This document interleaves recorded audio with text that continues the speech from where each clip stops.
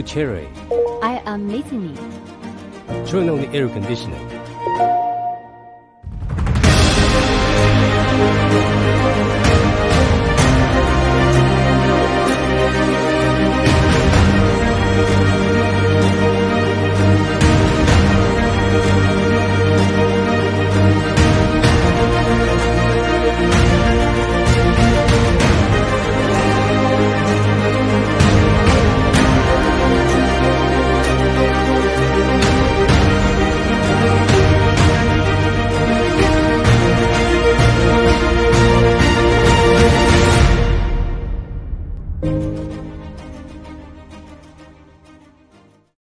Assalomu alaykum sportso'z kuzatuvchilari.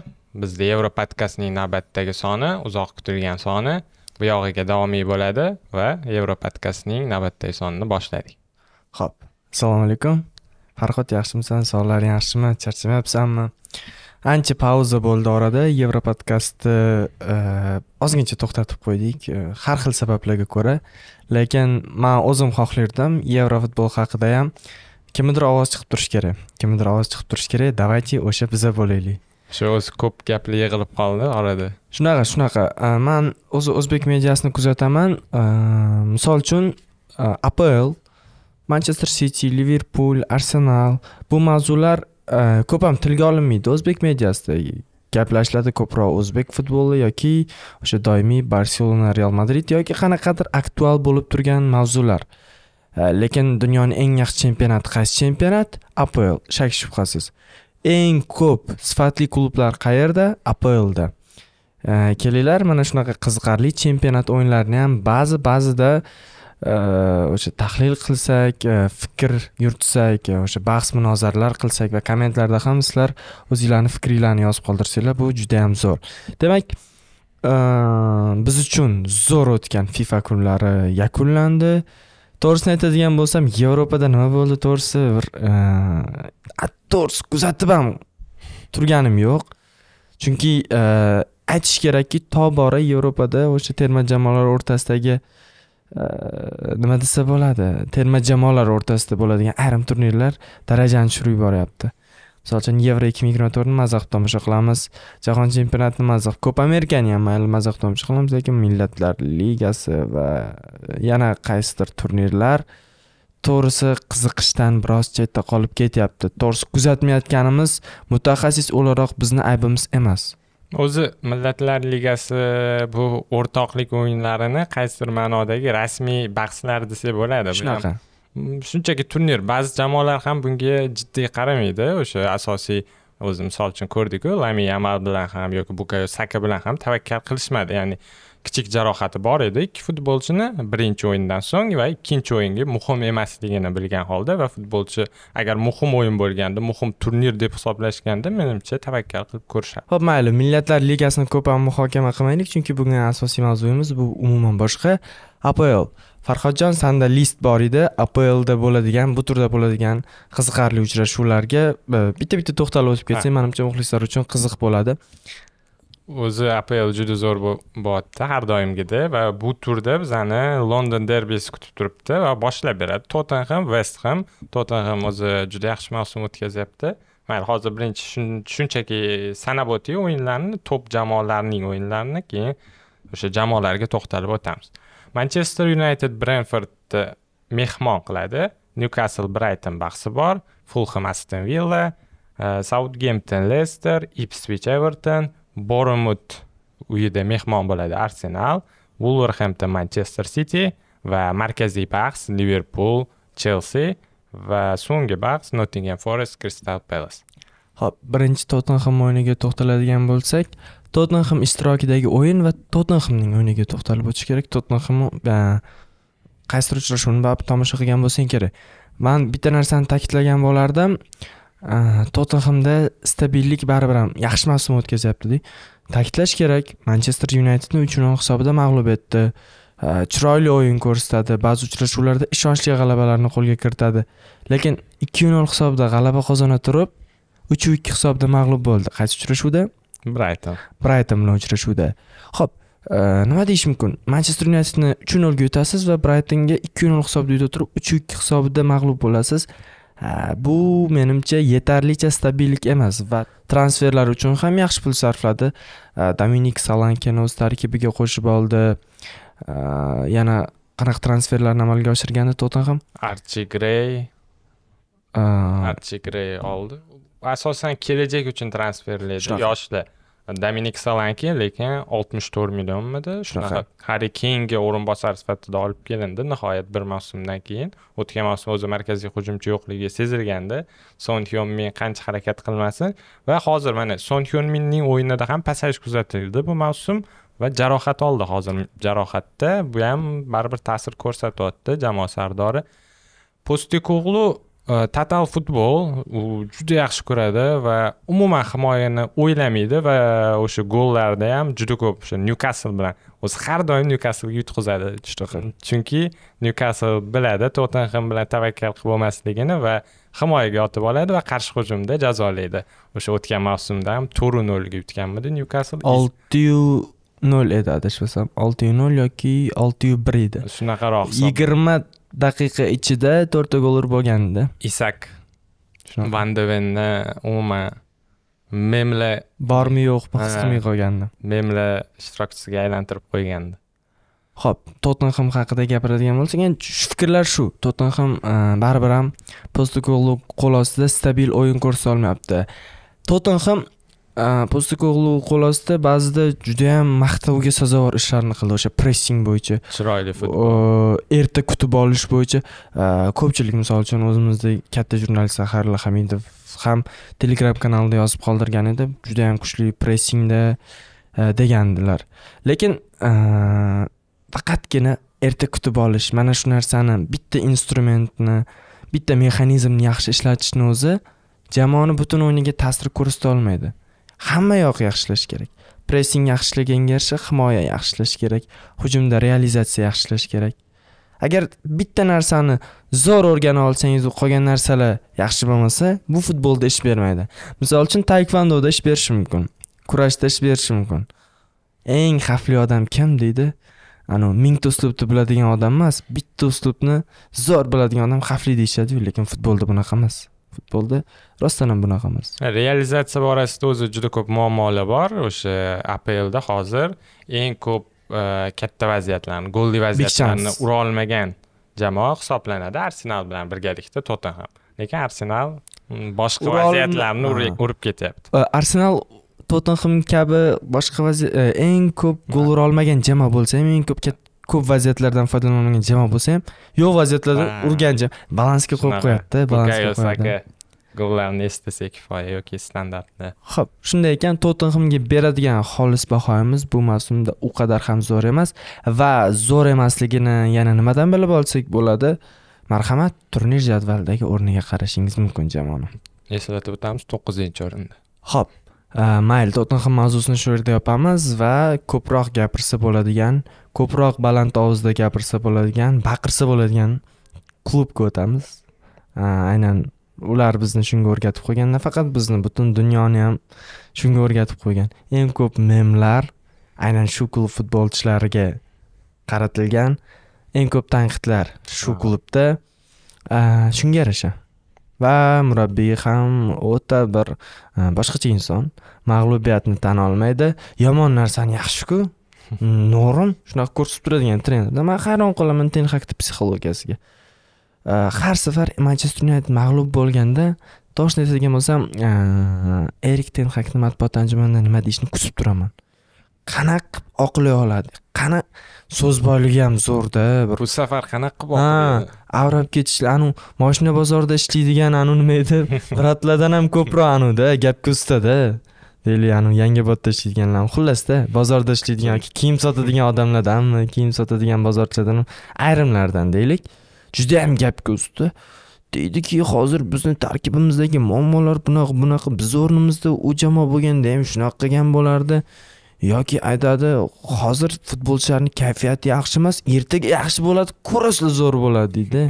Biz rivojlanyapmiz Ha. rivojlanishda davom etyapmiz uch yildan beri rivojlanishda davom etyapti. Nima ham deymiz? Eh, konsta va shokir ishtirokidagi eh, konsta va shokir aytgan bitta qo'shiq bor edi. Ertasi yo'q bu bolalarni degan. Ertasi yo'q to'g'risi erik ten hag qo'l ostida manchester unitedni ertasini ko'rmayapman. Nimaga? Progress bo'lmayapti. Biz e, yomonroq myuni ko'ryapmizki yaxshisini ko'rmayapmiz. Nimaga? Birinchi kelgan mavsumda to'rttaligiga kirdi. Okey zo'r. Keyingisida o'tgan mavsumni adashmasam olti yoki yettinchi o'rinda tugatdi. Ketdi orqaga ketish. Bu mavsum hozir nechinchi o'rinda? O'n to'rt. O'n to'rtinchi o'rinda. Молодец qanaqasiga manchester united bu murabbiyni bo'shatmayapti? Hayron. Menimcha o'sha tovon puli yuqori. Shuning uchun bo'shatgisi kel e, bo'shatishga ko'zi qiymayapti. Texa qo'l ostida ham nimadir qilar jamoa deyishyapti menimcha rahbariyat. Lekin agar rahbariyat jamoani natijalarini e, o'ylaydigan bo'lsa almashtirish kerak. Yangi qon kerak. Manchester unitedga yangi qon kerak nimaga? Bilasan chunki bu jamoada har qanaqa murabbiy tez tez kirib qoladi tizim yo'qligi uchun. Yangi murabbiy keladi o'zini g'oyalarini olib kiradi aniq bir tizim yo'q. Qanaqadir futbolchilarni transferlarni amalga oshiradi. Bir bir yil bir yarim yil yaxshi o'ynaydi keyin orqaga ketish boshlaydi sulshir ham birinchi kelgan mavsumda ikkinchi o'rinni olgan. Yirik yirik g'alabalarni qo'lga kiritib yaxshi o'yin ko'rsatgan. Deylik ralf rangnik ham boshida yaxshi edi. Lekin asta sekin sal o'tib muammolar ko'zga ko'rina boshlaydi. Shunaqa eyforiya tugaydi shunaqa jamoaga tizim kerak. Bu o'sha ha- har bir klubda ham ko'ryapmiz. Mhm, o'sha tizimni yo'lga qo'ygan jamoalar o'sha oldinga siljayapti. O'sha misol uchun endi qiyoslash emasku braytonni ham aytsak bo'ladi tizimni juda zo'r yo'lga qo'ygan umuman murabbiyga qaramaydi har doim gapiramiz va hozir ham aytsak bo'ladi. Eng qizig'i bu jamoaga futbolchilari ham qiziqishadi shunaqa o'sha brayton myuni yutdi o'sha brayton tottenhamni ham yutdi na kambek o'sha brayton yomon oltinchi o'rinda hozircha futbolchilar ijrochilar judayam ko- tez almashadi braytonda Kaysedo- ketdi ho'p nima bo'libdi yana bitta qanot himoyachisi bor edi bu mavsum o'zida ikkita tayanch yarim himoyachisini ketkazdi gilmor va yana bittasi kim edi esimni olmayapman keyin milner jarohatda shunaqa. Shunga qaramay yana yarim himoyani yosh iqtidorlarga ishonib normal o'yin ko'rsatadi. Himoyada ham misol uchun e, yaxshi yaxshi futbolchilar ketadida jamoadan misol uchun kukurelli ketdi yana chelsida ijarada o'ynagan va yana e, chelsidan ijaraga kelgan futbolchi hozir adashma kolvel kolvel kolvel chelsi e, braytonda juda yam zo'r o'ynadi va yana ortga qaytdi. Lekin brayton uchun bu yo'qotish emas brayton qumdan ham yasab oladida bunaqa futbolchilarni o'sha e, oldingi podkastlarda ham menimcha aytgan bo'lsam kerak o'sha braytonda e, algoritmlar ishlaydi. Mana shu futbolchilarni tanlash futbolchilar potensialini ko'ra olish bo'yicha qanaqadir maxsus algoritmlar aynan matematiklar matematiklar e, aytishniklar deymizmi kimdirlar? Mana shu xuddi shu futbolchilarni qayerlardandir topib kelish va ularni potensialini ko'ra olish bo'yicha ishlashadi. Bu skautlar emas borib kuzatadi. Hammasi e, o'sha texnika orqali amalga oshiriladi va bu menimcha ish beryapti. Transferlardan yaxshigina pul ishlab olyapti. Ani ayrim klublarga alam qilmasmikan a? Misol uchun ayrim klublar mayli nomini sir tuting yoki shunaqa klublar bordir. Hozir yaxshi o'ynayotgandir mayli hozir yaxshi o'ynayotgandir. Ho'p. Bo'ldi biz bildik transferlar uchun ko'p pul sarflaydi lekin ana u yerda bitta klub transferlar uchun umuman deyarli pul sarflamaydi. Pul sarflasa ham ikki hissa qilib chiqarib oladi. Istalgan yetakchi futbolchini qo'yib yubora oladi lekin o'sha jamoa bilan tengma teng o'yin ko'rsatadi. Milliardlab pul sarflayotganlarga bu alam qilmasmikan deymanda misol uchun. Lekin o'zi braytonda hech kim chempionlik kutmaydida shunisi bor shunisi ha ulardan kutyapmiz ular ham chempionlik to'rttalikka ham kirisha olmayapti misol uchun. Hmm, bu mavsum kiradi optimist bo'laylik. ha. Ha, o'sha yaqinda bo'lgan o'zbekcha futbol podkastlarida mana shu haqida ko'p bahslashdikda misol uchun mutaxassislar bilan misol uchun yahya xo'ja aka bilan. Tizim kerak tizim kerak tizim kerak terma jamoaga balki u qadar ham muhim emasdir bu narsa.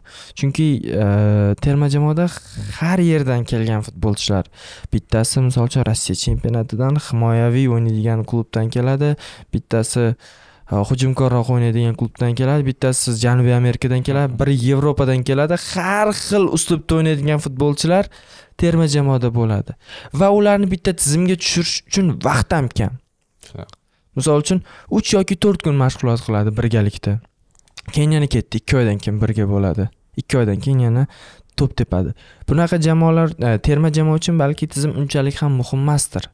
Lekin klub uchun tizim ayni kerak narsa. Shunaqa. Terma jamoa uchun e, o'sha har bitta o'yinga alohida yondashuv har bitta uchrashuvga alohida yondashuv ko'proq ish beradi. Raqibni o'rganish raqibni kamchiliklarini misol uchun himoyasida qanaqadir xatomi yoki qaysidir futbolchisi biroz oqsaydi shu narsa ko'proq ish beradi. Man e, bitta narsani ta'kidlagan bo'lardim. Argentina terma jamoasi nimaga jahon chempioni bo'ldi? Argentina nimaga kopa amerikani yutdi? Argentina har bitta uchrashuvda raqibga moslashar edi.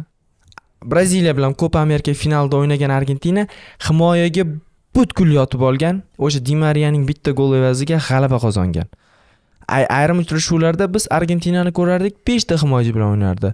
Lisandro atamendi hamda ramero qanotlarda akunya talyafiko molina har xil variantlarni sinab ko'rardi. Tasavvur qiling tasavvur qilgan hujumi shunchalik kuchli argentina ba'zida beshta himoyachi bilan o'ynaydi. Nima qilibdi har bitta raqibga alohida yondashuv kerak. Terma jamoada shundaydir. Lekin men aytishim kerak klub doim e, misol uchun haftada ikki marta o'ynaydi. Ba'zida uch marta ham o'ynashga to'g'ri keladi liga kubok e, biz ko'rdikku uch kunda bir o'ynashga to'g'ri keldi. Siz har bitta raqibni o'rganib chiqib har bitta raqibga tayyorlana olmaysiz. Buning uchun vaqt umuman bo'lmaydi. Fizически ha fizически har bitta raqibga tayyorlanishni o'zi misol uchun real nimaga chempionlar ligasini yutadiyu la ligada qoqilardi avvallari.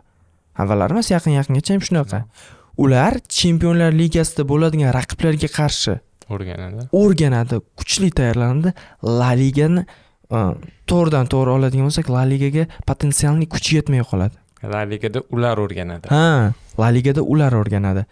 A, real madrid to'g'ri a, bitta e, elegant gigant jamoa gigant jamoani kuchsiz jamoalar o'rganish tabiiy xuddiki o'sha terma jamoalarda bo'lgani kabi real madrid fokusni faqat chempionlar ligasiga qaratadi. Bavariya bilan o'ynaydimi bavariyani o'rganadi chelsi bilan o'ynaydimi chelsini o'rganadi.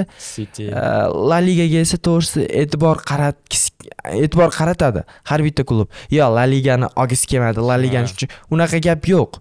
Shunchaki La Ligadagi misol uchun Alavesni o'rganishga vaqti bo'lmas va Alaves kutilmaganda qandaydir biz kutmagan narsalarni taqdim etib qolishi mumkin shunday ekan klubga albatta tizim kerak. Manchester United qanaqa jamoa tizim yaratish uchun hamma narsa berilgan bu jamoaga hamma narsa berilgan.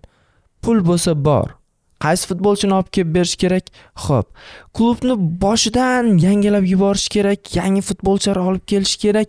Bu narsani ham men aniq ayta olaman. Manchester united qila oladi. Puli ham yetadi. Ho'p antonini sotsin o'ttiz million yevro o'ttiz besh million yevroga manchester unitedni taktikasiga tortib qilish kerak shu ishni. Qilish kerakda bo'ldi endi. Ayniqsa bu yilgi transferlardan keyin man o'ylagandim jamoa tizim quradi. Misol uchun Hmm, hmm. zirkse tizimga tizimli o'yinchi uni e, yirtqich hujumchi emas u tizimli futbolchi yoki mazraviy deyarli hammasi bir birini biladigan o'yinchilar. O'sha niderlandiya maktabi dedik Hmm, bilmadim erik ten hak balki farhod e, kechirasanu manchester unitedda manchester unitedda bor pul beshdan biri bo'lgan bitta klub borda italiyada milan. Mana shu milan ham e, o'sha Reelsga tushib oldida bir tekis ketyapti. Uch mavsumdan beri chempionlar ligasiga chiqyapti adashmasam uch mavsum bo'ldi va bu mavsum ham e, katta ehtimol bilan kuchli to'rttalikka kiradi. Hozir manchester united bilan o'ynasa balki mag'lub bo'lishi mumkin. Lekin o'zini potensialdan kelib chiqib potensial. o'zini potensialdan kelib chiqib emyuni yutib qo'ysak man hayron qolmayman Mm, va mani fikrimcha ikkala jamoa o'ynasa aynan milan favorit ham lekin o'zini potensialdan kelib chiqib bu jamoa judayam to'g'ri ishlayapti. Judayam to'g'ri ishlayapti. Va manchester united sarflayotgan pullari berilayotgan e'tibor va ayni paytda tarkibda bor ijrochilardan kelib chiqib ham ayni paytda tarkibda bor ijrochilardan kelib chiqib ham kamida aplni to'rtinchi jamoasi bo'lishi kerak. Shunaqa o'zi biz e, shu manchester yunaytedga to'xtalishimiz bu bu jamoani bilamizda tarixini qanchalik Mm. kuchli jamoaligini shuncha ko'p muxlisi bor ekanligini va qaysidir ma'noda bu jamoani bunchalik pastga tushishini xohlamaymiz shunaqa. Misol uchun chelsi bilan parallellar chizadigan bo'lsak chelsi hozir zo'r o'ynayapti. Chelsida kuchli futbolchilar zaxira juda yam kuchli lekin bitta detalga e'tibor beraylik ho'p manchester yunaytedda bor himoya chizig'i chelsida yo'q. Chelsini himoyachilari baribir ham yoshroq. O'zing o'zing tarkibga qarasang hali potensialni ochib ulgurmagan himoyachilar. Shunaqa. Misol uchun himoyada kimlar o'ynayapti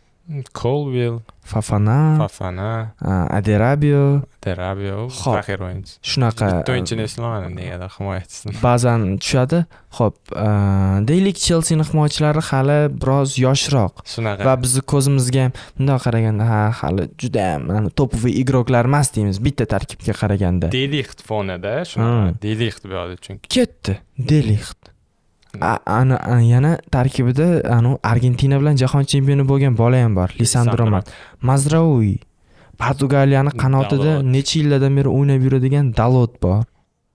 Shunaqa xafa bo'lmang magvayr ham yaxshi futbolchi. Ha, magvayr ham yaxshi futbolchi uni ham juda qattiq tanqid qilib bo'lmaydi. Lindelyof Lindelöf. lindelyof ham anchadan beri manchester yunaytedda o'ynaydi va e, ishonchli o'ynayaptiki manchester yunayted qo'yib yuborishga oshiqmaydi. Shunday ekan manchester a, va himoyani hop aytib o'tdim. Chelsini bruno fernandesh yo'q. Misol uchun to'g'risini aytadigan bo'lsa chelsi brunosi yo'q chelsini bruno fernandesh yo'q. Chelsida yaxshi e, yarim himoyachilar bor yaxshi ijrochilar bor. Ular e, chelsi bilmadim tayanchlarni yig'ib tashlaganda tarkibga brunochalik kreativ yarim himoyachi yo'q. Shunaqa kreativ yarim yo'q himoyachi. joydan vaziyat yarata oladigan maydonni ko'ra oladigan de bruyne klassiga yaqinroq biz bir paytlari e, bruno fernandeshni de bruyne klassida derdik. Mani emyuchi do'stlarim bor edi. De bruynedan kuchliroq ekanligini ham isbotlab berishardi. Hattoki zo'r derdim. Man brunodan kuchli e, de bruynedan kuchli ko'rmasdim. Lekin o'sha klassda ko'rardim hozir ham bruno fernandesh o'sha klassdaligini har safar portugaliyaga borganda ko'rsatib qo'yadi. Lekin shunchaki jamoa oyog'i osmondan bo'lib ketgan. O'sha bruno oxirgi paytlar jamoaga qarshi ham bo'layotgandi. Chunki u kutgan narsa bo'lmayapti. O'sha ikkita qizil kartochka bekorga bo'lmadi o'sha qizil kartochka bahsli ediyu lekin bruno uni o'sha jamoadoshlari qilolmagani uchun e, o'zi bilgan holda raqibga jiddiy zarba bermoqchi bo'lgan edi. Undan keyingisida ham o'sha sariq kartochkasi bor edi va yana xavfli o'ynayapti. Bu o'sha jamoadoshlaridan norozi u ko'prog'iga qodirligini biladi. O'zini ham e, sheriklarini bilmadim u o'zini ko'proq bunga bundan ko'prog'iga qodirligini biladi. Brunoni sabriga to'g'risi qoyil qolamanda. Misol uchun bruno e, bemalol barselona deylik real madrid. Real madridda unchalik juda ko'p qiziqish bo'lgan bilmadim. Qiziqish bo'ladi. Bemalol mana shu klublarda yoki deylik e, angliyani boshqa klubi yoki bavariya yoki a seriyadagi intermi naplimi bemalol o'sha klublarda o'ynay oladi. Endi napliga o'tish manchester yunaytedda o'ynash bilan barobarku. Endi daraja jihatidan lekin bemalol manchester yunayteddan yaxshiroq hozir yaxshiroq klublarga o'tsa bo'ladi. Lekin bu futbolchi bilmadim manchester yunaytedda nima ushlab turadi balki qani aytadi qo'ylar ichida zo'r bo'lib yurish yoqsa kerak balki. Futbol eh, manchester yunayted futbolchilariga hurmatni saqlagan holda endi qo'ylar desam qo'ylar deb sal oshirib yubordim to'g'ri. Lekin eh, to'g'risini aytish kerak manchester yunaytedda ayrim futbolchilar o'sha libos uchun o'ynashni bilmaydi buni rio ferdinand ham aytadi buni pol skuls buni roy kin ham aytadi libos uchun o'ynashni bilmaydi buni ronaldo ham vaqtida aytib ketgan manchester yunayted tushunchasi manchester yunayted o'zi nimaligini bilishmaydigan bilmaydigan futbolchilar borda bor o'shaning uchun manchester yunaytedga nisbatan fikrlarimiz negativ brenford bilan o'ynayapti brenford manchester yunayteddan turnir jadvalida oldinroqda. Birinchi daqiqada gol urarmikin brentford? Brenfordda shunaqa an'ana davom etyapti. Oxirgi o'yinda ikkinchi daqiqada urdi undan sal kechikdi. Endi raqib manchester yunayted manchester yunaytedligiga qaraydigan bo'lsak birda ursa kerak manimcha chelsi bo'lganda mayli ikkida urardi chelsi hozir yaxshi. Tuxel ham angliyaga ketib qoldi. Ha tuxel angliyaga ketdi. Endi manchester united uchun to'g'risi hozir bo'sh yurgan murabbiylar orasida variantlar e, yetarlicha yetarlicha tenhakdan yaxshiroq variantlar. Tenhakni ayaksda hammamiz maqtardik. Manchester unitedga kelib yomon murabbiyga aylanib qoldi. Yoki yomon klub murabbiyni yomonga aylantirdi yoki e, tenhakni o'zi ham yaxshi murabbiy emas endi bunda har xil tarafdan qarasa bo'ladi paradokslar. Bostonga chidolmagan bo'lishi mumkin. Balki aytaylik bu ikkalasi shunchaki bir biri uchun yaralmagan. Hmm, shunaqa. Balki boshqa komandaga borib top jamoaga aylantirib yuboradi. Shunaqa. Hmm, shunchaki buni tan olish kerak eng pozitiv versiya tenhak hamda manchester united bir biri uchun emas. Bularni yo'llari ayro ketishi kerak. Ajralishdik degan muzikani qo'yib tezroq tenhakni kuzatib yuborsak yaxshiroq bo'lar edi adashmasam manchester united uchun apl intrigasi uchun. Ikkinchi manchesterga o'taylik shu bilan londonga o'tib ketamiz. Ho'p ikkinchi manchester. Mm, nimagadir shu ikkinchi manchester haqida gapirishni xohlamayman hammasi yaxshi bo'ladi. Har doim ha? Har doim. Bir xil. bir xil yuradi. Tizim bo'yicha ketaveradi. Qara. Hozir aplda nechinchi tur edi? Yettinchi tur adashmasam. Sakkizinchi tur boshlanadi. Sakkizinchi tur boshlanadi. Holland o'nta gol urib qo'yganda. Shunaqa holland o'nta gol urgan e, eng qizig'ini aytadigan bo'lsak bu mavsumda e, manchester sitini adashmasam yetmish foizdan ko'proq gollarni aynan holland uryapti. Ikkinchi o'rinda manchester sitida e, manchester united bordi. Manchester sitida ikkinchi stoprari kovchich har doim surprizlar syurprizlar bo'ladida bu komandada.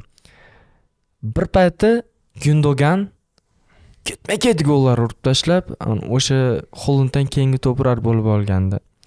Ba'zi pallalarda e, bernardo mana shunday gollarni urib o'zini ko'rsatib yorqin ko'rinib qoladi va aksar hollarda kevin de bruyne.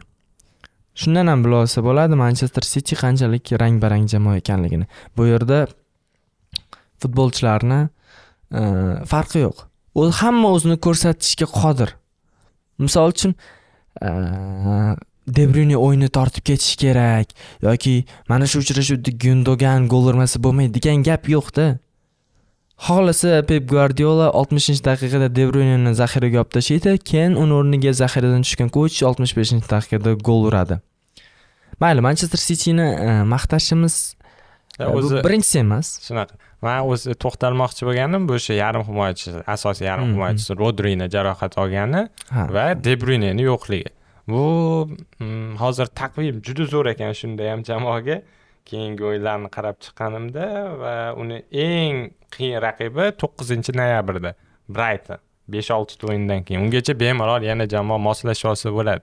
Rodrisiz o'ynashga ham. Hozir oxirgi o'yinlarda biroz muammo kuzatilayotgandida nyukasl bilan ham durang o'ynadi adashmasam. Shunaqa bir bir o'ynadi. Ha keyin fulham yutdi uch ikki fulham uch ikkiga yutdi. Adama traore necha marta birga bir chiqib ketdi. Vokerni qanaqa o'tib ketganini ko'rdingmi? Vokerdan o'tib ketadi muammoli hozir ko'rilyaptida shu- yaxshiyam travore shu ani finishi nolda shu futbolchini. Bo'lmasam o'sha uchrashuvda fulham bemalol yutardi. Shunaqa gvardiola ham bekorga tushuntirmaganda qanaqa ketish kerak? Achinib ketganda shu muammolardan chiqib keta olarmikin manimcha rodris baribir ham qiyin.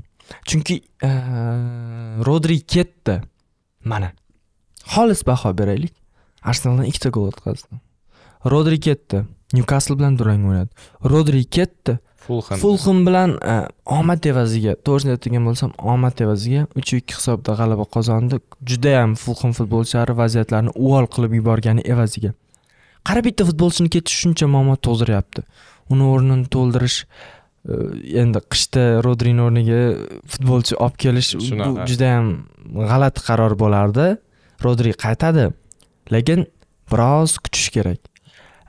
Rodrini o'rnini to'ldiradigan futbolchi ham aynan rodrini ishlarini qiladigan futbolchi ochig'ini aytadigan bo'lsak hozir manchester sitida yo'q rodrini funksiyalarini bajaradigan futbolchi. O'zi umuman topish qiyin-da bunaqa futbolchini. Rodri darajasida. Rodri darajasida emas rodriga o'xshab ah, ko'p funksiyali yarim himoyachilar bor.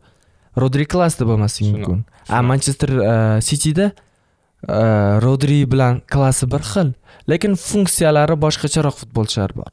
Misol uchun kevin de bruyne kovchich bu futbolchilar e, ko'proq baribir ham hujumga ixtisoslashganroq e, ayniqsa de bruyne hujumga ixtisoslashganroq kovich esa toza markaziy futbolchisi toza yarim himoyachi a rodri esa ham tayanch ham tayanch ham yarim himoyada balansni ushlab turadigan futbolchi ham hujumda ham juda yam foydali futbolchi.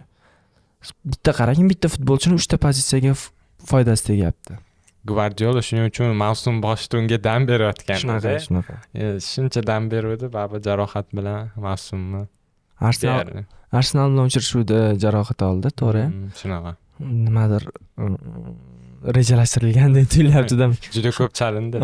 Arsenal chempion bo'lishi uchun rodrini sindirish kerak edi manimcha. Vazifasini yaxshi bajardi. Albatta yaxshi ish bo'lmagan.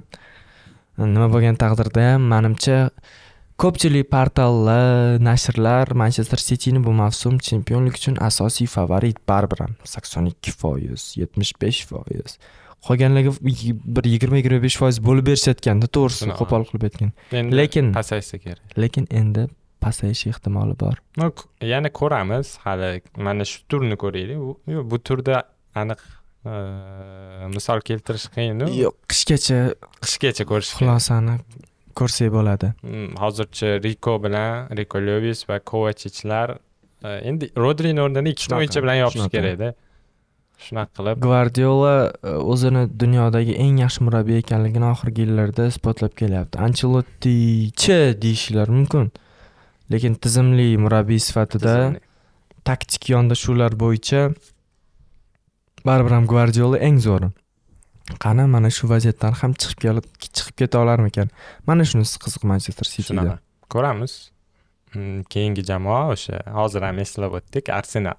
O'sha jarohatga o'ynagan demaylik endi o'zini ham xudo urdi mamnuniyat shuncha futbolchi jarohat oldi. Jarohatga emas o'sha rodrini bilishadi juda yaxshi o'rgangan va ikkita futbolchi qo'yganda adashmasam. Hmm. va o'sha o'tkazmaslik uchun boshqa yo'lini topisholmagandir sal qo'polroq o'ynab yuborishdi va lekin arsenal baribir e, juda zo'r ketyapti bu mavsumda ham. O'sha siti bilan bir xil ochko arsenal katta o'yinda ham yutdi yevropa chempionlar ligasida psjni buni ham alohida ta'kidlab o'tish kerak. Va arsenal e, manchester sitiga qarshi uchrashuvda himoyaga yotib olgani ko'p tanqid qilindi. Lekin boshqa nima qilish kerak edi? O'n kishi bo'lib turib o'n bir kishi yana manchester sitiga qarshi uchrashuvda. Bu shunchaki moslashuvchan taktika raqibga qarab taktikani moslashtirish adaptatsiya. Shunaqa man juda ko'p bahslashaman shunda. O'sha arsenal himoyaga otib oldi umuman arteta bunaqa bo'yicha oldinga ketolmaydi deyishadi. Juda ko'pchilik man har doim bu bu bu e, uchun bahslashaman. Endi manchester siti misol uchun arteta gvardiola artetadan yaxshiroq biladigan odam bo'lmasa kerak gvardiolani shuncha yil ishlagan va arteta bu tarkib bilan bu tarkibi potensiali bilan biladi o'sha o'n kishi qolganda ham himoyaga yotib olmasa jamoa yutqazadi yutib ketishi ham mumkin boshqa jamoalar yutib ketyapti deyishadi lekin ellik ellik bo'lib qoladi buni tavakkal qilish arsenal chempionlik uchun kurashayotgan jamoa uchun bu to'g'ri emas o'zi o'n kishi bo'lib qolib o'n bir kishi o'ynayotgan manchester sitiga qarshi o'ynagan arsenalni himoyaga yotib olganini tanqid qildiku ko'pchilik. Himoyadan chiqmadi himoyaga o'tirib oldi yotib oldi deb rosa gapirishdiyu. Lekin sal orqaroqqa qaytaylik. O'n bir kishi bo'lib bir yuz yigirma daqiqa himoyadan chiqmagan jamoa ham borda. Va u jamoa barcha zamonlarning eng yaxshi jamoasi hisoblanadi. Shunday ekan mana shunday jamoalar bir yuz yigirma daqiqa tengma teng bo'lib turib himoyadan chiqmasdan amallab sitiga qarshi uchrashuvda natija qilayotgan bir paytda arsenal o'n kishi bo'lib turib bir taym himoyada o'ynasa yomon emasmi? Shunaqa. Yomon emasmi? Hadeb arsenal tanqid qilaverish g'alati emasmi?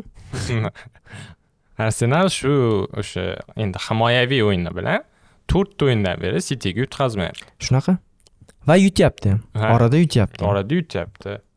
Liga kubogida durang o'sha penaltilar seriyasida g'alaba. O'tgan mavsum aplda o'tgan mavsum aplda g'alaba va durang. Va bu mavsum yana durang. Shunaqa. Bir paytlari eng zo'r arsenal pikka chiqqan arsenal qaysi paytda siti bilan farqi yuzaga kelib qolardi sitidan ajralib qolardi yoki turnir jadvalida sitidan qolib ketardi? Aynan o'zaro o'yinlarda. Shunaqa. Esimda ikkiyu bir hisobda yutqazgan o'yini va ikkinchi davrada to'rt bir hisobda yutqazgan o'sha holand ikkita gol o'sha sochini yechib tashlagan anavi sharshara bo'lib ketgan sochi o'sha uchrashuvda misol uchun eplolmagan arsenal ham hujumkor o'yin ko'rsatishni xohlagan eplolmagan то что endi e, bunaqa taktika ish bermayapti bolalar. Endi himoyadan chiqmaymiz degandir arteta. To'g'ri qilgan to'g'ri qilgan. Qanaqa boshqacha o'ynash? Manchester siti yillar davomida necha yil davomida shakllandi bu jamoa. Bu jamoa biror marta e, himoyada o'ynaganini qaysidir uchrashuvda ko'rmadim ham. Inter bilan uchrashuvda aytishadi inter bilan uchrashuvda shunchaki ehtiyotkorlik qilgan hech qanaqasiga himoyada o'ynamagan. E, risk kamroq bo'lgan e, o'sha ключевой paslar kalt paslar kamroq bo'lgan ko'proq e, balansni ushlab turgan lekin o'sha uchrashuvda ham himoyada o'ynamagan. Siti himoyada o'ynashni bilmaydi. Ha keyin qo'shimcha qilib ketmoqchi edim o'sha siti ham arsenaldan sal cho'chiydi. Shunaqa. Chunki misol uchun bu mavsumda ham o'sha o'yingacha har doim uchta himoyachi bilan ya'ni bittasi ko'tariladi shunaqa o'ynab kelayotgan. Hmm. lekin arsenalga qarshi o'yinda gvardiol maydonga tushdi va u chap qanot himoyachisi sifatida tushdi. Hmm. u misol uchun gvardiola ham e, artetani biladi yaxshi va u ham cho'chiydi va moslashadi himoyaga yotib olmaydi albatta lekin shu artetani potensialini biladi man ishonaman balki keyingi yillarda gvardiola qoladimi yo'qmi bilmayman arteta yaxshi jamoasini shakllantirib olgandan keyin bemalol siti bilan ham o'sha himoyaga yotib olmagan holatda o'ynay oladi shunchaki hozir jamoani potensiali yetmaydi bunga yo'q yetadi yutib ketishga yetmaydi ellikka Shunaqa. ellik bundan ko'ra tavakkal qilmagan yaxshiroq. Chempionlik uchun kurashadigan jamoa durangni qo'lga kiritishni imkoni bor ekan. Tavakkal qilib tavakkal qilishni keragi yo'q. Buni endi o'xshatish qanchalik to'g'ri yo bilmadim E, futbolchilarimiz o'zbekiston eron. Bizni muhimi shu ketqizib yubormayapmiz eronni dediku otabek shukurov. Hmm, shunaqa o'xshatsa bo'ladi.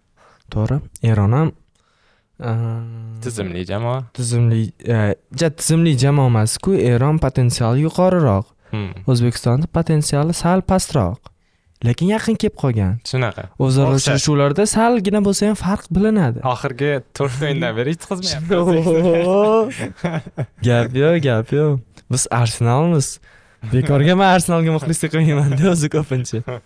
Ho'p arsenal shunaqa bu mavsumda a, jezus u qadar yaxshi darajada emasdi.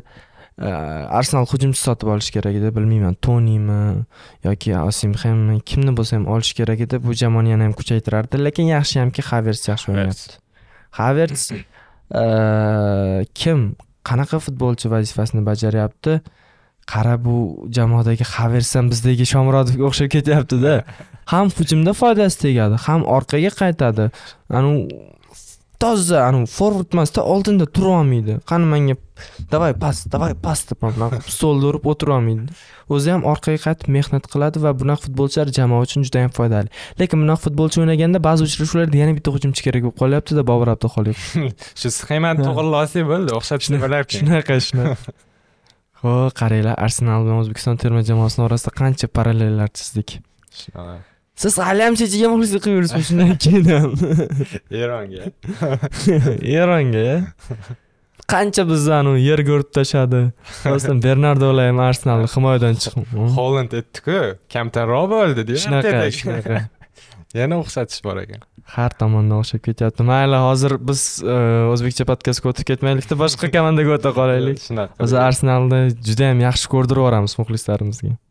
Muxlislar ko'payib ketadi E, o'zi ikkita jamoa qoldi va o'shalar keyingi turda o'zaro raqib chelsi liverpul chelsi liverpul mana shu uchrashuv rostdan qiziq bo'ladi. Bu judayam primitiv gap bo'ldi oddiy gap bo'ldi. Lekin nimaga qiziq bo'ladi? E, liverpul bu mavsumda e, siti hamda arsenal bilan nimaga oxirgi paytlarda o'zi liverpulni siti va arsenal darajasida yaqin darajasiga yaqinroq o'ynayapti deyapmiz? Chunki aa, aynan arsenal bilan siti ikki mavsumdan beri birinchi ikkinchi o'rinlarni olib kelyapti. Liverpul o'tgan mavsum uch oldi undan oldingi mavsum e, beshtalikka ham kira olmay qoldi. E, bu mavsumda ham baribir ham biroz ajralib qoladi siti bilan arsenal. Lekin nima bo'lgan taqdirda ham ayni vaqtda turnir jadvalini liverpul boshqaryapti peshqadami liverpul liverpul turnir jadvalida birinchi o'rinda bo'lishi mumkin siti hamda liverpul siti e, hamda arsenaldan yorqinroq ko'rinishi mumkin. Lekin liverpulni har doim oyog'idan chaladigan bitta jihat bor. Bu jamoada ijrochilar kamroq. Tan olish kerak ijrochilar e, bu jamoada ochig'i kam. Va ayni paytda ijrochisi eng ko'p jamoa menimcha arsenal bo'lsa kerak. Siti emas. Edegor jarohatda faqat. Edi- Shunisi bor. Edi- ediger jarohati jarohatlarni inobatga olmaydigan bo'lsa shunda tarkibni qo'yadigan bo'lsa Hmm, shunaqa. misol uchun arsenalda sakkizta himoyachi chiqadi va eng kamida oltitasi top darajada. Eng kamida oltitasi top darajada. Hujumda ham assortimentlar ko'paydi. Sterling trossard martinelli bitta Xil o'ynaydi bitta qanotni o'zida. Trossardni misol uchun hujumkor yarim himoyachi qilsa bo'ladi. Braytonda aynan shunaqa o'ynagan. hujumchi ham bo'lib o'yna oladi qara trossard ham hujumchi bo'lib o'yna oladi ham vinger bo'lib o'yna oladi ham hujumkor yarim himoyachi bo'lib o'yna oladi va bu jamoada o'sha qanotni mahv etgan o'sha assistlari bilan jamoadoshlarini to'ydirib tashlayotgan bitta sakaga o'rinbosar yo'qligini e, muammo sifatida ko'radigan bo'lsak bu muammo jamoani yoniga keldi mana saka jarohat oldi. E, qancha vaqtda safga qaytishi hozircha noma'lum lekin aniq bilamanki e,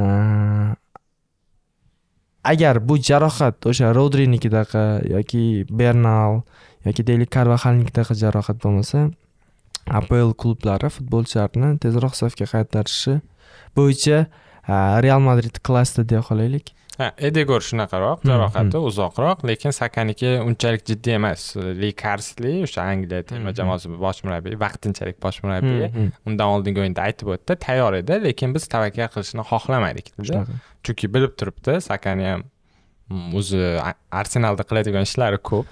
O'zi angliyani klublari mana shunaqa futbolchilarni jarohati borasida muddatlarni qanaqadir sir tutadida ko'p hollarda bu narsani ochiq oydin misol uchun barselona qaysidir futbolchisi yoki real madridni qaysidir futbolchisi jarohat olsa ertasi kuni bayonot bilan chiqadi mana shuncha muddatda o'tkazib yuboradi rasman.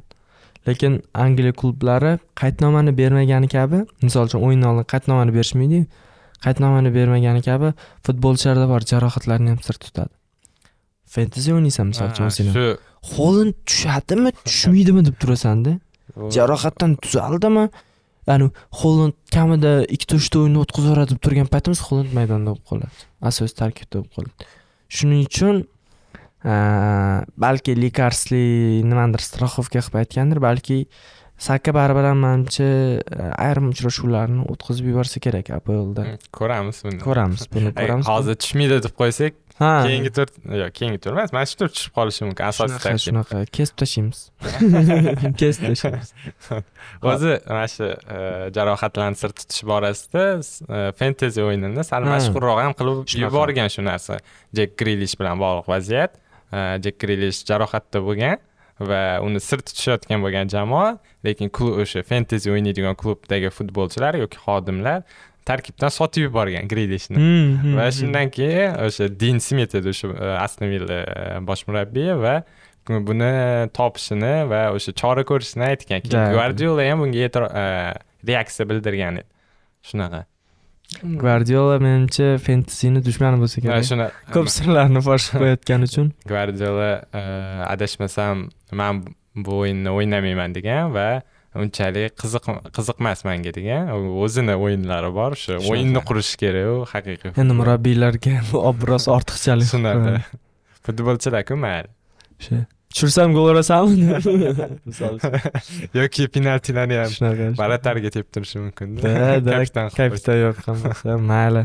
Halol futbol tarafdorimiz. Chelsi liverpulga qaytamiz. Ho'p chelsi liverpulga qaytadigan bo'lsak e, liverpul mm, yaxshi o'ynayapti yaxshi yana primitiv gap gapiryapman. Lekin to'g'risini aytadigan bo'lsak man liverpuldan baribir ham uzoqqacha bora olishini qayerdadir baribir qoqilishini kutaman. Ha mana shu hozir gapingizni Mhm. bo'ldim lekin hozir eng qiyin vaqt liverpuldada juda yomon taqvim kutib turibdi. Hozir mas o'qib berish uni chelsi bilan o'yin bor keyin chempionlar ligasi derbi leypsig keyin arsenal kutib turibdi keyin ikki marotaba ikki marotaba brayton bilan o'ynaydi liga kubok Va- premyer liga keyin bayer leverkuzen keyin aston villa. Orada bitta sal dam olarkan sautgempton keyin real city newcastle everton. tugamayapti qani yana qaraychi? Ya jirona ekan. Liverpul bilmadim omon chiqarmikan shu mana shu ikkita o'yinni ko'raylik. Hech bo'lmasa keyin sal taxminlarni bildirsak bo'ladi. Misol uchun hozir birinchi o'rinda turibdi. Maqtavor emaslik kerak. Shunaqa. Taqvim yaxshi edi va mana haqiqiy taqvim endi boshlandi. Ko'ramiz. E, chelsi bo'lsa e, enso mareska yoqyapti. Yoqyapti. E, o'sha podkastlarda ham vaqt kerak degandimku. Hmm. o'yinchi ko'p lekin biroz vaqt kerak degandim va mana o'sha vaqtga ega bo'ldi jamoa. Yo'q. Misol uchun vaqt kerak va chelsini yaxshi o'ynayotgan bo'lsa ham u qadar maqtab yubormagan bo'lardim. Chunki man shunaqa yomon ko'raman chelsi yo'q bu sabab emas Э, bu shunchaki hazil. Э, nimaga maqtamagan bo'lardim? Chunki jamoa bitta uchrashuvda besh nol hisobida g'alaba qozonadi. Palmer to'rtta gol uradi. Bitta uchrashuvda olti ikki hisobida g'alaba qozonadi. Palmer to'rtta assist qiladi madoke hetrik qiladi. Э, Felishlar gol uradi va bitta tur o'tib yana qaysidir jamoa bilan durang o'ynab qo'yadi. Arsenal city liverpulni biz nimaga ayni paytda aplni ajralib qolgan jamoalar deymiz. Ularda bunaqa kutilmagan hodisalar kamdan kam bo'ladi. Stabil. Stabil ketishadi. Misol uchun apl qanaqa nimasi bilan qiziqarli liga edi? Istagan jamoa istagan jamoadan ochko olib qo'yishi mumkin edi. Lekin tan olaylik oxirgi paytlarda bu narsa buzildi biroz. Mana shu uch jamoa mana shu uch jamoa. Ayniqsa arsenal hamda manchester city. Misol uchun liverpulda bu mavsumda ham bo'ldi Nottingham Forest. nottingham forestga. Mag'lub bo'ldi. Lekin e, arsenal nimaga ochko yo'qotdi brayton bilan? Bir kishi kam bo'lgani uchun. Shunaqa arsenal nimaga ochko yo'qotdi? Siti edida siti nimaga ochko yo'qotdi? Arsenal edida endi. Yoki o'sha yana qizil kartochkasi bor edi. Shunaqa shunaqa. Va siti yana bitta uchrashuvda nimaga ochko yo'qotdi chunki nyukaslda u anaqa emas. Nyukasl yaxshi o'ynashni biladi. yaxshi jamoa. Manchester city bilan yaxshi o'ynashni biladi. Har doim qiynaladi. Kristal pelas emas yoki aytadigan bo'lsak byornli emas. Umuman boshqa jamoa nyukasl boshqa klassdagi jamoa deylik. Chelsi chelsini klassida uniteddan biroz baland ayni damda liverpul siti hamda arsenaldan biroz pastroq shunaqa e, bir boshqacharoq jamoa. Aytadigan bo'lsam bu uchrashuvda menimcha e, durang natija qayd etilsa kerak. O'tgan mavsum birinchi turni boshlab bergan o'yin edi. Chelsi liverpul va o'sha uchrashuvda ham durang bo'lganda ikkita ikkita bir biri bilan solishadigan jamoalarda misol uchun liverpulda ham e, aniq o'yin uslubi yo'q. Shunchaki liverpul o'ta ekzotik jamoa o'ta xarizmatik jamoa o'ta harorat jamoa ayni paytdagi chelsi ham xuddi mana shunday jamoa. Misol uchun e, pragmatik jamoa bu manchester city hamda arsenal. Pragmatik jamoa bu brayton o'sha to'p nazoratini qurish to'p nazoratiga egalik qiladi. E, pragmatik jamoa desak bo'ladi tottenhamni ham to'p nazorati bo'yicha emas aynan joylashuv va o'zini o'sha pressingi va bu an'anasidan voz kechmaslik bo'yicha. Lekin liverpul hamda chelsi haqiqiy anu tezlikka e, tayanadigan qarshi hujumlar va tezkor hujumlar e, hujumdagi mayda kombinatsiyalar o'sha e, bitta ikkita hujum instrumentlari bor. Misol uchun liverpulda saloh o'rtaga yuguradida luis diasga tashiydi yoki shotaga tashiydi. Qanaqadir ishlanmalar borda. Chelsida ham xuddi shunaqa aniq olmaydi butun boshli tarkib bitta uslub bilan shakllanmagan. Mayda mayda o'yinini boyitib turadigan o'yinini chiroyliroq qilib turadigan detallar bor. Mana shunaqa ikkita jamoa o'ynaganda mazax futbol ko'rsa bo'ladi. Aytdingizu hozir durang bo'lsa kerak dedingiz. Lekin ikki ming yigirma to'rtinchi yilda ikkita o'yinda liverpul g'alaba qozongan bu seriya to'xtaganda undan oldin ketma ket yettita uchrashuvda jamoalar durang o'ynagan. Shunaqa. O'sha angliya liga kubogi kubok finalda ham ketma ket nolu nol o'ynab penaltilar seriyasi deyiladi adashmayotgan bo'lsam ha penaltilar seriyasida keyin liverpul yutib ketgan. Tuxel edi adashmasam unda jamoa bosh murabbiyi o'sha anuni keparisa balagani quvib qolgani adashmayotgan bo'lsam. Mm, u ham undan oldingisi bo'lsa ha undan oldin xullas duranglar ko'p. Durang bu jamoalar durang ko'p o'ynar ekan o'zi. Qarab chiqish kerak juda ko'p bo'lsa kerak. O'sha eslaysiz shunaqa. Sarri edi unda. Ha sari edi da da. Ho'p Ah, sani taxmining? Mm, aynan keyin mana shu markaziy uchrashuvga? Faqat shunga. Ha shunga taxminlarimiz bilan bo'lishadigan bo'lsak bilasan oxirgi paytlarda manda qanaqadir qobiliyat shakllangan. Kim gol urishini ham aytmaysiz bu qobiliyatni shu yerda ishlatib ketamiz. Yo'q buni maxsus o'yinlarda aytamiz. ani statusimni tushirib qo'ymay xato qilib o'ylab ko'rmagan ekanman nechi nechi bo'ladi? Chelsi liverpul ho'p. Durang deb ketsam bo'ladiyu unaqa xohlamayapman. Negadir chelsi kubra hisobida g'alaba qozonadi shunchaki taxmin Mm. Hmm, o'yinni maza qilib ko'rmoqchiman. Xato chiqsa ham xafa bo'lmayman. Shunaqa shunaqa. Yo'q baribir ham taxmin bildiramiz o'yin payti esimizdan chiqib ketadi. Manimcha bir bir bo'lsa kerak. Hmm. o'zi chelsi liverpulda o'sha aytib o'tdikku bu oxirgi e, endi taqvimini ko'rib chiqdik. E, lekin ungacha jamoa hozircha slot yaxshi shakllantirgandi jamoani. O'sha rang biza boshidagi podkastda eslagandik tayanch yarim himoyachi yo'q jamoaga kerak degandik. To'satdan gravenberg porlab chiqdi va juda zo'r o'ynayapti. Juda ko'p uchrashuvlarda eng yaxshi o'yinchi ham bo'ldi adashmayotgan bo'lsam. Ko'ramiz. Shunaqa. Bu Endi- video faqat biznes egalari uchun. Reklamaga sarflayotgan pullaringizdan natija ko'rmayapsizmi? U holda Sport So'zga reklama bering. Biz sizga eng yaxshi narxlardagi yuqori darajadagi xizmatlarni taqdim etamiz. Biz shu paytgacha Cherry, TBC, Infinbank, Korzinka, Beeline, Uzum, Texnomart, Setanta Sports, BNB, Zamin qurilish, EPA, Adrenaline Rush, Mavera Plastics, Silk Road Kokand Hotel kabi brendlar bilan ishlaganmiz va hozir ham hamkorlik qilib kelmoqdamiz. Sport Sportsu sayti va uning ijtimoiy tarmoqlari orqali bir oyda 35 milliondan ortiq prosmotr qilingan. Bu deyarli O'zbekiston aholisiga teng degani. Qolaversa Sport Sportsu saytida chiqqan ma'lumotlar, foto va videolarni mashhur sportchilar o'z ijtimoiy tarmoqlariga qo'yishlari orqali auditoriya yanada kengayishi aniq. Shuningdek, bizni qo'shni Qozog'iston, Qirg'iz Respublikasi, Tojikiston, Rossiya, Amerika va boshqa mamlakatlarda ham kuzatishadi. Agarda sizga ham mana shunday reklama xizmatlari kerak bo'lsa, quyidagi raqamlarga murojaat qiling. Dastlabki 3 ta mijozga 20% gacha chegirmalar mavjud. endi sekin e, yo'nalishni o'zgartiramiz ispaniya tomonlarga e, la ligani muxlislari la ligani emas aynan real madrid hamda barselonani muxlislari aplni top oltita klubidan ham ko'proq adashmayotgan bo'lsam adashmasam kuzatuvimga qaraganda o'zbekistonda shunday ekan. Barselona hamda real madrid mavzusini shunchaki chetga surib qo'yib bo'lmaydi. Agar shunchaki chetga surib qo'yadigan bo'lsak muxlislar bu podkastni shunchaki chetga surib qo'yishi mumkin. Shunday ekan demak la liga barselona hamda real madrid. Birinchi navbatda har doim real madrid bilan boshlardik. Endi barsa bilan boshlaymiz turnir jadvaliga qarabda endi. Ho'p bu mavsum mavsum oldidan bildirilgan taxminlarda barselonani muammolar kutib turganini flik amallashni kutayotgandek flik amallamayapti raqiblarni amallab tashlayaptiza barselona. Raqiblarni abgor qilyapti.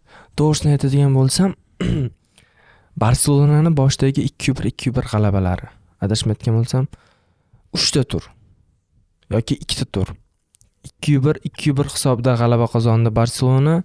Yaxshi amallayapti dabdurustdan bitta portlash bo'ldi va yettiyu nol beshu bir to'rtu nol jamoa umuman zverga aylandi va bitta stopni bosdi asasuna to'rtu ikki lekin asasunaga qarshi uchrashuvda nima mag'lubiyatga sabab bo'lsa aniq ko'rsata olamizda kimlarni tushib tashladi tarkibda? Bitta man qoldimda barsani tarkibda tushmagan.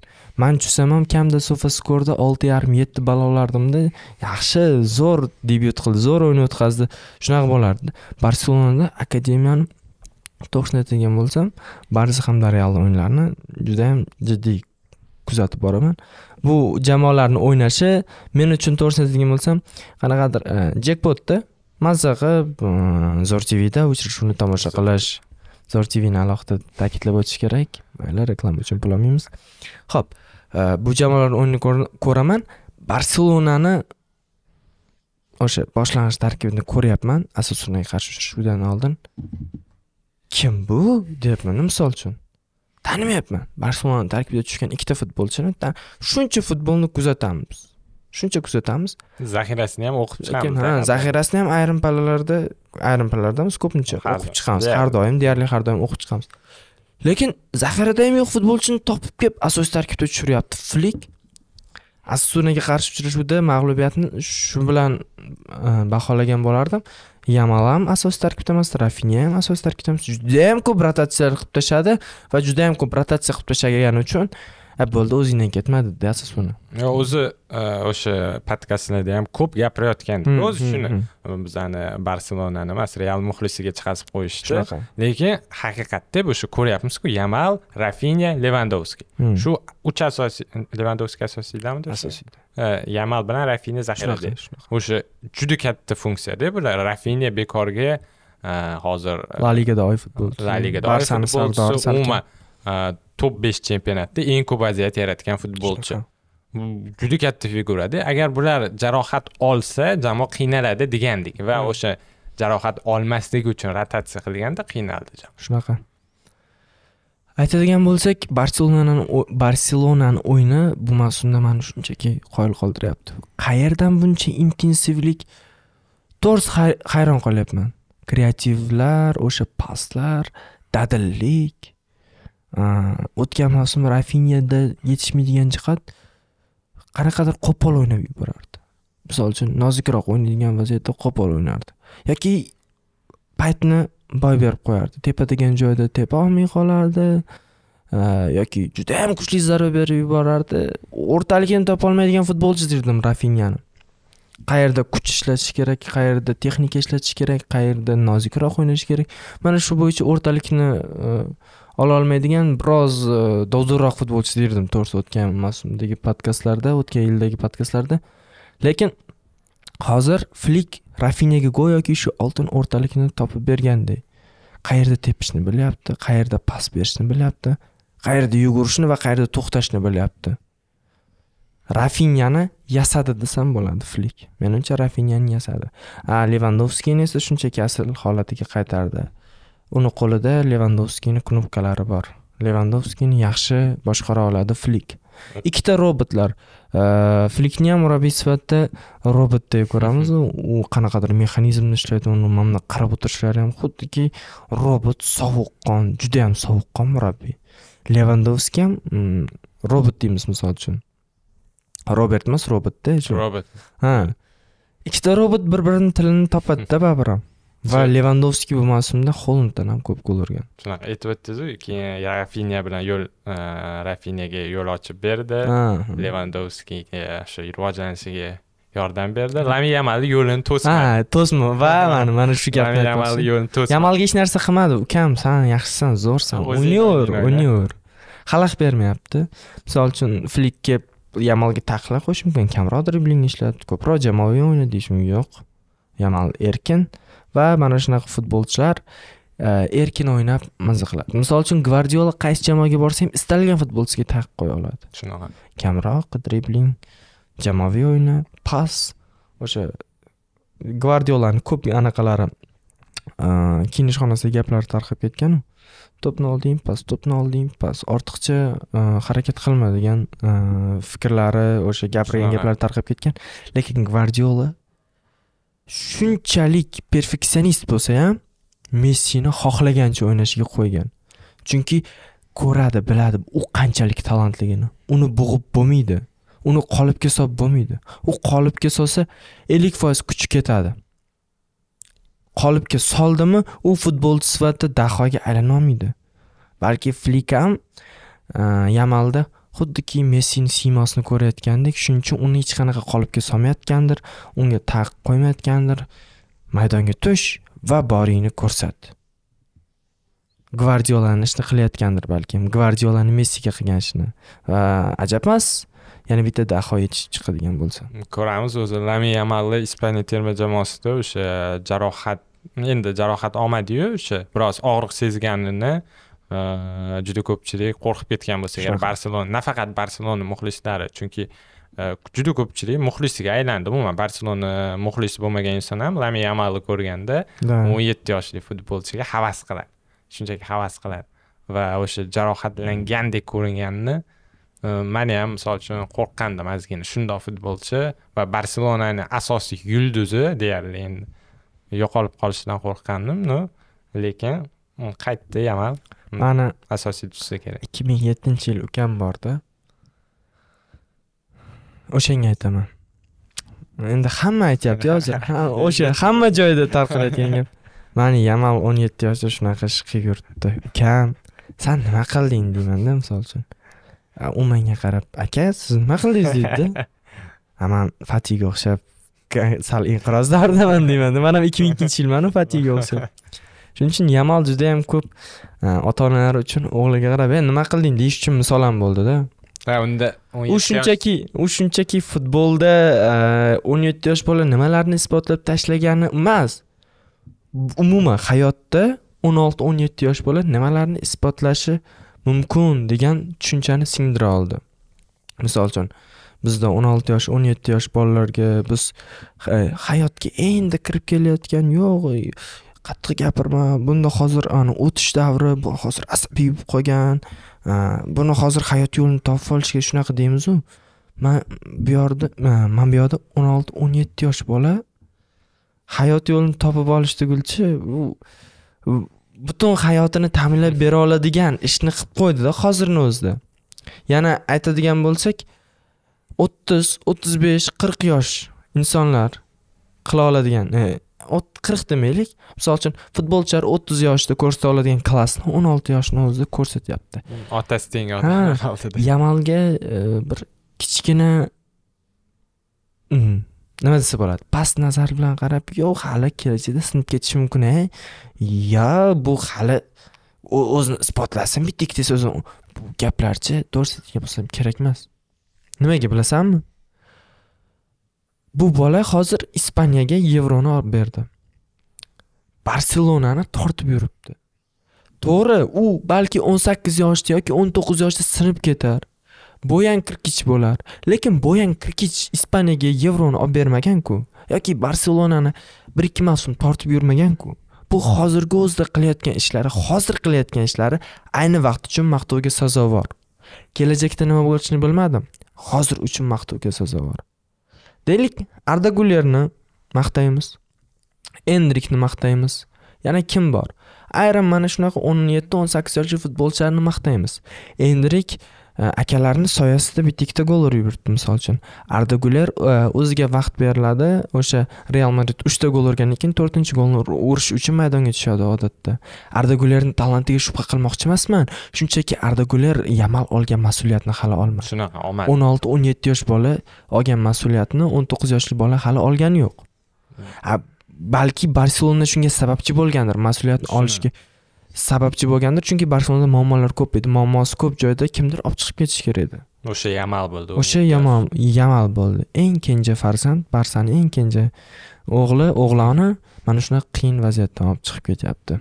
Shunchaki shunchaki qoyil qolish kerak. Ortiqcha tanqid va bu hali isbotlasin va bu hali sinib ketadi hali ko'rasizlar. Kerak emas mani qolmagan bo'lsa kerak unaqa odam. Shunaqa. Shunchaki oxirgi marta misol uchun ispaniya terma jamoasini o'shani shedevr gol urdi yevroda o'shandan keyin manimcha qolmadi Ha. unaqa odam endi qolgan bo'lsa ham u mm, real madrid qolmasin yoki shunchaki hasad qiladi. O'n yetti yoshlidir balki. Ha. shunchaki e, hozir qilayotgan ishlar uchun qoyil qolish kerak. Kelajak mayli kelajakni hech kim bilmaydi. Shunaqa ertaga kim bor kim yo'q kim qanaqa futbolchi bo'ladi kim qanaqa yashaydi kim kim bilan hech kim bilmaydi shuning uchun ba'zan hozir qilayotgan ishlar uchun o'rnimizdan turib qarsak chalib qo'yishimiz kerak. Negativlarni esa yig'ishtirib qo'yishimiz kerak. Bu turda sevilya bilan o'ynayotgan barselona. Hmm. Mm, unchalik to'xtalish shart emas o'zi. Sevilyani e, nisbatan sevilya xetafedan osonroq raqib. Xetafedan ham barselona uchun. Barselona uchun xetafedan oson osonroq raqib. Real sosdad ham deylik alavesdan osonroq raqib barselona uchun. Barselona real madrid qaysi jamoalarga qarshi ko'p ochko yo'qotadi real sosedad villarreal atletik bilbao hozir sanaganing sevilya valensiya valensiya kabi jamoalarga qarshi ko'p ochko yig'ilsa barselona bunaqa jamoalarni oson yutadi chunki bular o'sha himoyaga yotib olmasdan futbol o'ynaydi futbol o'ynaganda barselona yana ham yorqinroq futbolga futbolmi biz ko'proq gol uramiz baribir ham deb o'tgan mavsum faqat vilyareal bilan o'xshamay qolgan. Vilyareal sal ko'proq urib tashlagan. Shokka tushib qolgan barselona.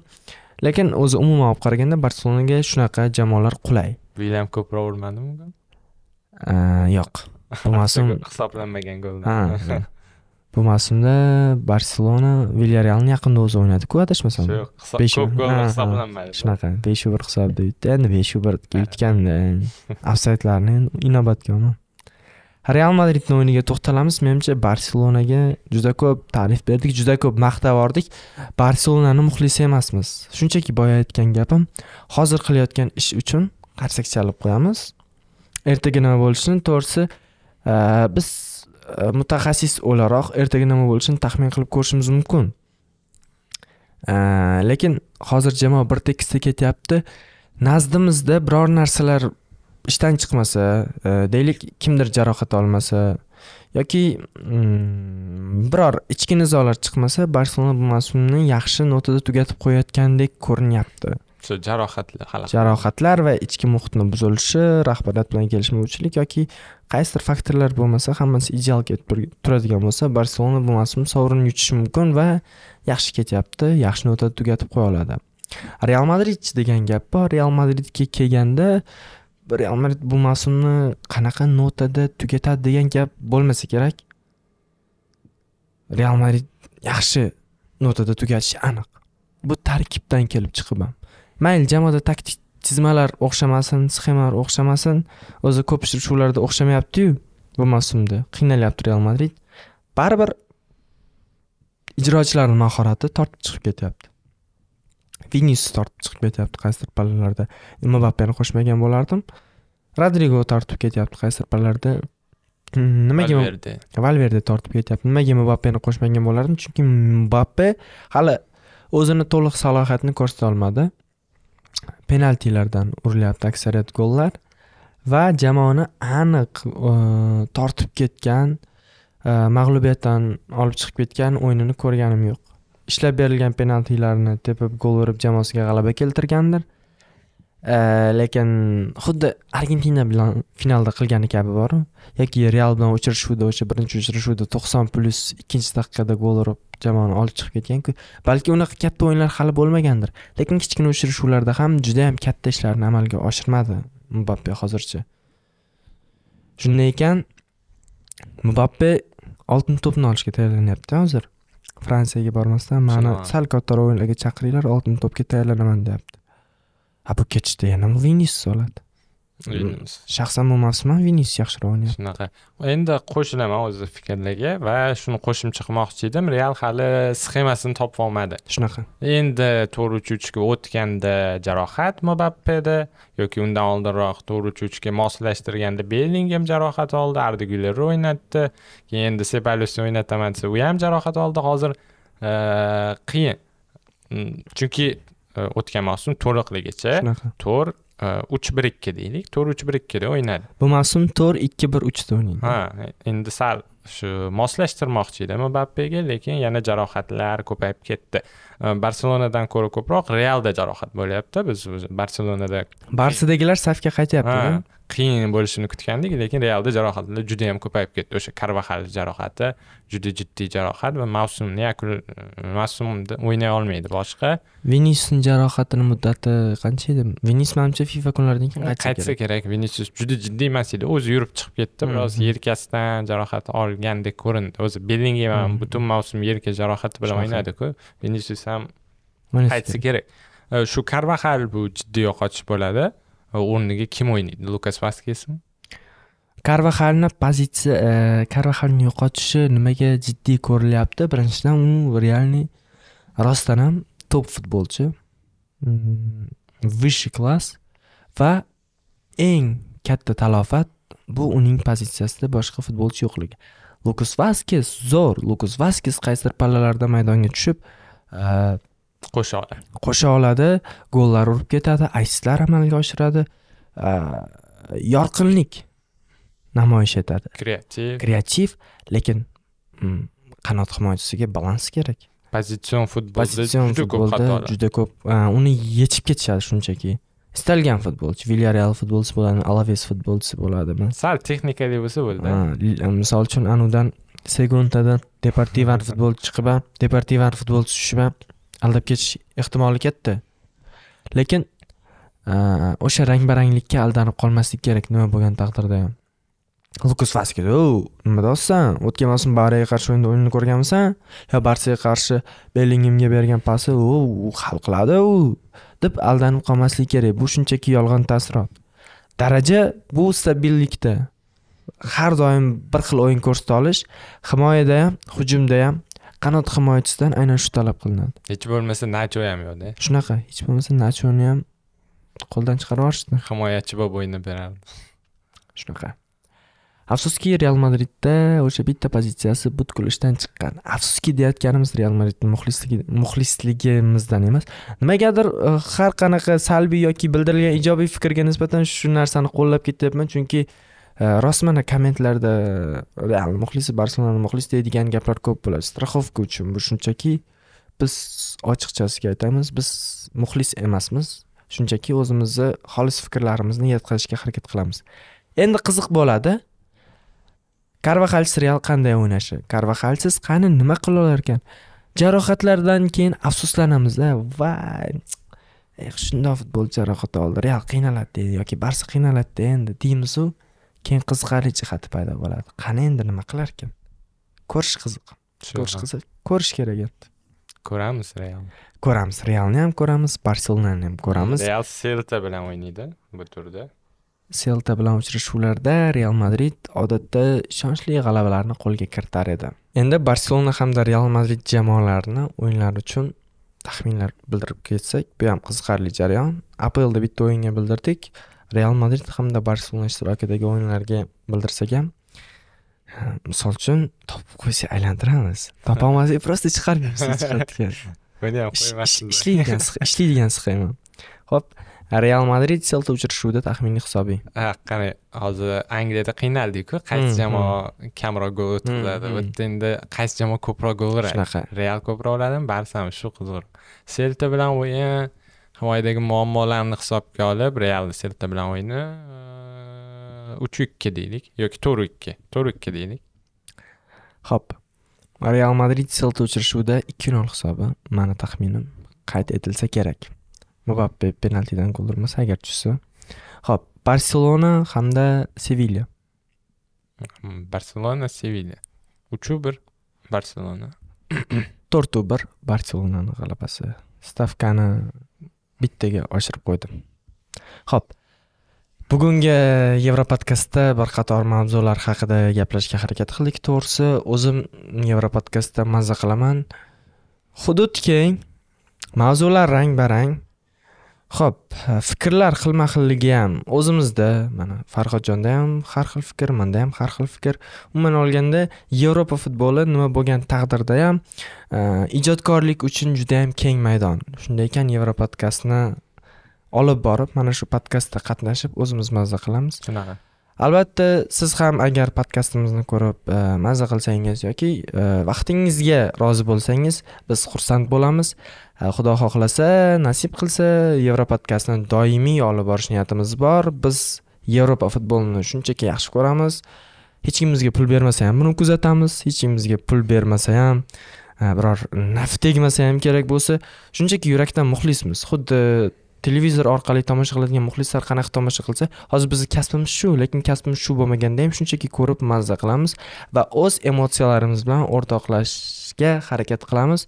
Shunday ekan yevropodkastni kuzatib boring bizdan uzoqlashmang farhodjon fikrlar bitta bo'lsa qo'shib qo'ya hozir kerak bo'lsa pul to'lamasa ham dedi kerak bo'lsa o'zimiz to'laymiz sotib olamiz o'yinlarni shunaqa shunaqa mayli kanal nomini aytmaymiz shu darajada shu darajada fidoyi muxlislarmiz va mutaxassislikka da'vo qilayotgan insonlar va biroz kamtarmiz ham o'zingizni ehtiyot qiling salomat bo'ling